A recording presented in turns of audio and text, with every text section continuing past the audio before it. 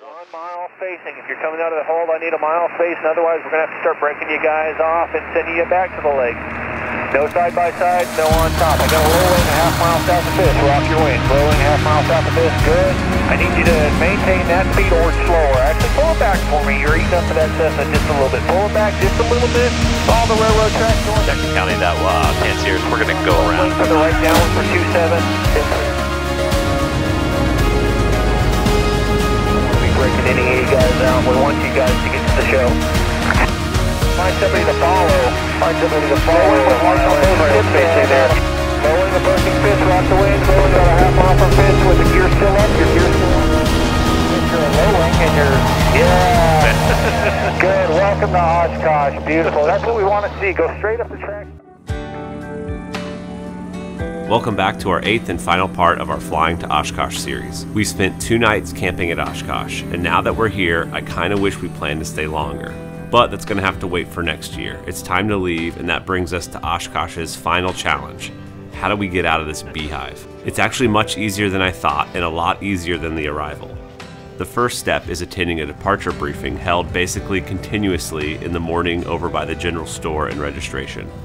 Here, you are given an extra copy of the NOTAM in case yours was lost in some terrible camping accident. All right, we're going to go to the um, to the departure. This picture. You guys. The departure is very straightforward, but if you mess up, you mess up big. So I'll go over the basics once we get our airplane out of the mud with the help of the amazing AirVenture marshals. Forward. Back. Forward.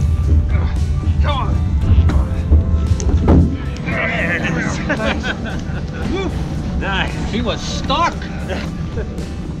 Pulling your aircraft out and placing a VFR sign in your window indicates to the marshals that you're ready to taxi. Before you start your engine, you need to have done all your pilot stuff like check the weather and have listened to the automated information. If there's no automated information, the airport is closed.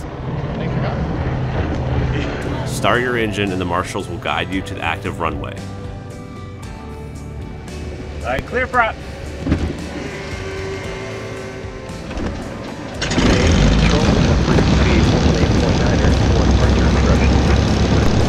IFR aircraft with a departure reservation, contact clearance delivery.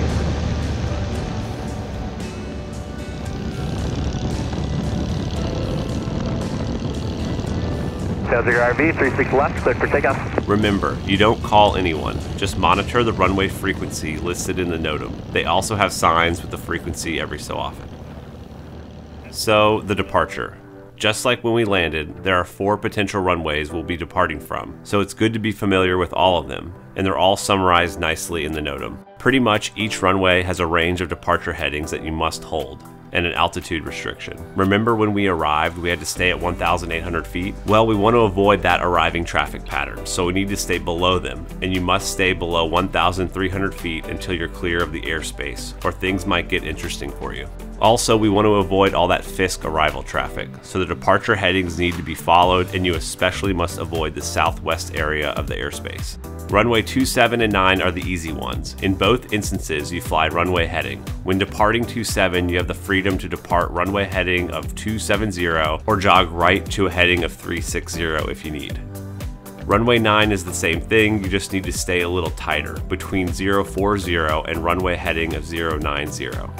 A lot of pilots in their garage built flying contraptions may be a little freaked out about flying over water low, so you'll notice there's no altitude restriction on this departure, so you can get high in case of emergency.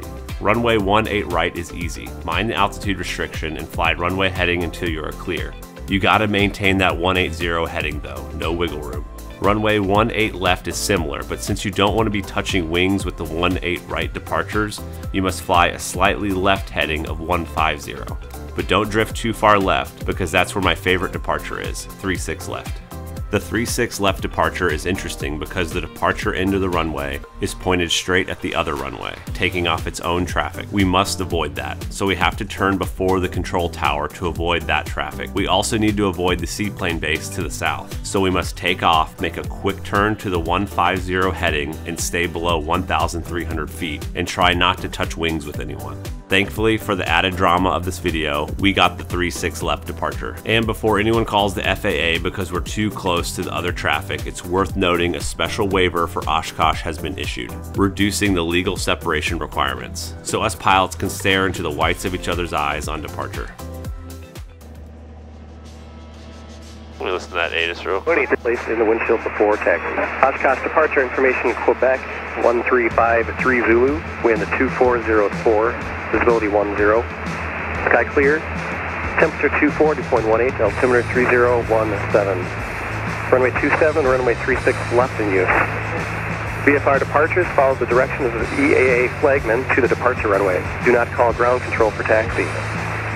VFR aircraft departing runway 27, monitor FAA controllers on frequency 128.75 for departure instructions. VFR aircraft departing runway 36 left, monitor FAA controllers on frequency 118.9er for departure instructions. IFR aircraft with a departure res- Alright, I'm gonna think I'm on 1189er. I got lost my engine here. Rolling. Lost his engine. Are you able to exit the runway? Everybody hold short 36 left. RV to lost the engine. Are you clear of the runway? Negative. All right, everybody, uh, just hold your position now. The red RV, hold, just hold there, and the white RV, stay in tensions. Uh, okay, can I text back? Are you running again? Yeah, I'll do What? it. No? You want to take off, or do you want to just Oh, exit no, the it's, parking? no, no, it's his. Taxi back to the end of the runway and It's this guy lost Okay, his engine. RV, uh, tail dragger, you can power up, make a left turn onto the runway, and then uh, just line up and wait on the purple dot there heading to your right. Let me know when you're ready. Alright, so we're gonna be taking off to the north, and we have to turn before the control tower to heading 150, so, so I can take off in an immediate right turn. And we can't go over the the we can't go over the seaplane base either. So we can't go over the coast. So we have to get up to um and we can't go above 1300 until we're out of the delta. In case you were curious, the pilot who lost his engine on his takeoff roll taxied back and went to maintenance. Airport operations went almost completely uninterrupted. Normally, I try to edit these videos down to keep the pace moving. However, considering the whole purpose of this video is to show the departure, and it happened so fast, this entire taxi up, takeoff, and turn is all in real time. You'll see there isn't much time between being told to line up and wait and getting the takeoff clearance while the plane in front of us is just barely wheels off the Second ground. RV, you're not clear for takeoff yet. Hold your position right there. The second RV. I'll point out the control stop right there. tower. We have to turn right prior to it. Thank you, second RV. The one on the purple dot now, clear for takeoff. Four Juliet Mike, runway 36 left, line up and wait.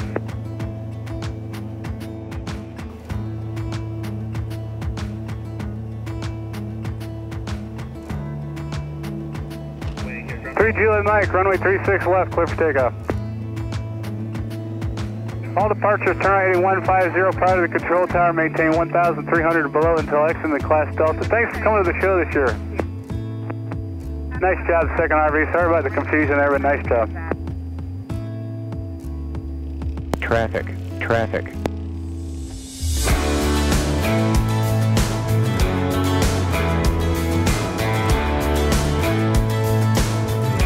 Wow, interesting.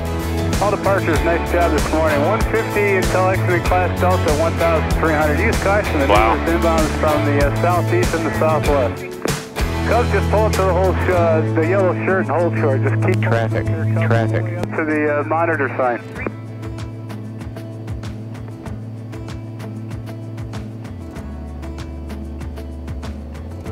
Cub, just pull up to that, the pink shirt and hold short. There's uh, launching traffic downfield. A lot of birds out there. Yeah.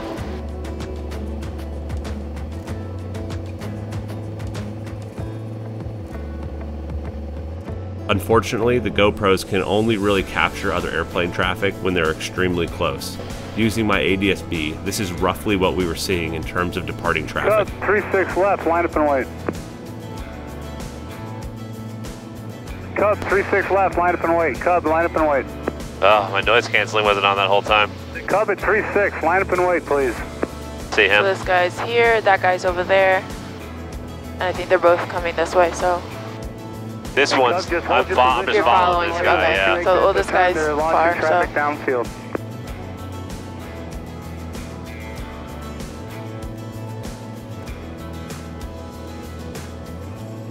Crazy how many people come in flying in formation. It's awesome. Yeah, did you see him? Oh yeah. There's another one over there, but he's kind of far. This the guy you're following? Clear for Yeah. takeoff. Runway 36 left. Cub, clear for takeoff.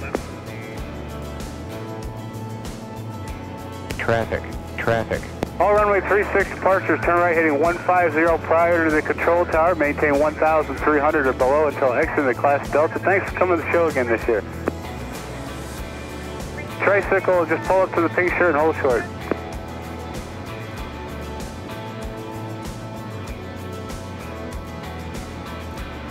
Break away from this guy. Creaming uh, red Cessna, runway 36 left, clear for takeoff. Use caution for the slow cub off the departure end.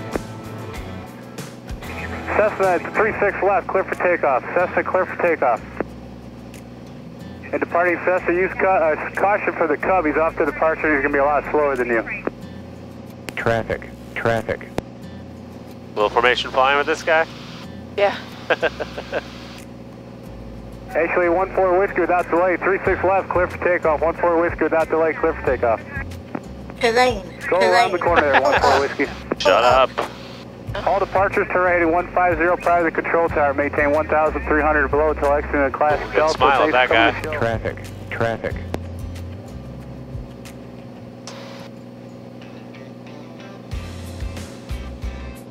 Nineteen Romeo, just tighten All the lineup right. if you will pull right up behind that amphib. 92 Romeo, V-tail, just pull it up behind that amphib. Uh, tighten the lineup a little bit, please. All right. We did it. You did it. We made it out. that was yeah, that was that wasn't as intense as the um as the arrival, but that was just chaos. That was just a flock of airplanes. Yeah. you have to watch out too. yeah. We did Oshkosh. In and out. 19 Romeo, Awesome. turn right heading 150. That was very cool. Clear for takeoff. That was very cool. So now All right, so how do you feel? Good. Awesome. I feel really good. That was an amazing experience. that was super fun. Just everything about it. Camping, Yeah. the actual the air sh- day air show, night air show, all the vendors, everybody was super nice, super friendly. Yeah. Um, just camping out. The weather, it was a little hot, but you know it's summer. I mean, you know, it was there was a lot of places to cool down. There's drinks, food everywhere. Um, Traffic, traffic. At night, I was very comfortable. It, was, it dropped down to the 60s, maybe. Where's that traffic? Oh, here you I got him. As long as you go, some lightweight clothes, sunscreen, hat. Yeah. Oh, what was lifesaver for me was I just I took an umbrella, little Yeah. Mary Poppins umbrella. Gave myself some shade the whole time. just for the, the actual departure. So again, it was something I've never done before, and so that's. Uh, but it was pretty straightforward. For as chaotic as it was, that was pretty legit. That was fun. I just can't get over how many planes were landing and departing at this at a time Insane. when there wasn't an air show go. I mean, there was always multiple planes in the sky. I don't know how they do air traffic control. That's ins- it's insane to me. Um, overall, the show, I I may disappoint some people, but like I was telling you, I'm not. I love flying. I love flying my plane, but I've never been like the like I love every plane. I want to like look in under the cowling, and I want to like like smell the exhaust, and like I'm just not. I'm into planes, but I'm not like oh that's a 1973 limited edition. I I I, I love my plane. I love us flying, but I appreciate other planes. But I I was like ah, an air show that's all about that kind of stuff. Maybe I won't even like it. That's I wasn't sure how I would feel. But even me, who has that kind of feeling, I loved it. I oh, it was amazing. uh, I thought it was in, in the in the amenities were out of control. Yes. Like we, you know, we showed in the other video. I mean, earlier in the video, but restrooms everywhere, drinkable water everywhere. They have like little convenience stores all through, like right next to the campsites. Um, they had like the shaving and like washing your hand station. You could blow dry your hair. They had the showers. And for the Uh, ladies, I did spot a few girls with hair dryers and even flat irons. So Yeah. if you want to look nice, uh, don't. I mean, uh, you can. They have out. I mean, they, you have to bring your own, but there's outlets. Yeah. I mean, there, like you said, there's people. There was like little vanities set up for all that kind of stuff. Yeah. It's so, amazing. yeah, I wasn't expecting all that.